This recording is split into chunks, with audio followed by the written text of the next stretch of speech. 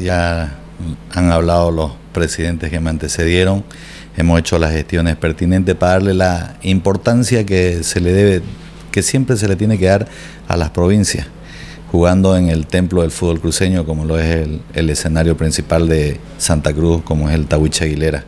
Creo yo de que estamos dándole la importancia, vuelvo a reiterar, para destacar los nuevos valores que, que salen de las provincias.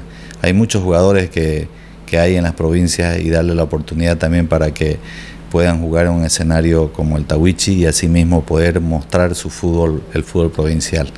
Y no nos olvidemos también que de aquí sale el cuarto clasificado a la Simón Bolívar, por lo tanto se merece darle la importancia que nosotros le estamos dando.